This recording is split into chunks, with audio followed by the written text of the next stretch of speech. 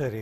അനീറ്റ ദൃശ്യങ്ങളിൽ ഒപ്പം കാണുന്നത് നേരത്തെ സൂചിപ്പിച്ചിരുന്നു മന്ത്രി കെ. കൃഷ്ണൻകുട്ടി സംഭവസ്ഥലം സന്ദർശിക്കുന്നതാണ്. അവിടെയുള്ള ഉദ്യോഗസ്ഥരിൽ നിന്ന് വിവരങ്ങൾ ചോദിച്ച് മനസ്സിലാക്കുകയാണ്.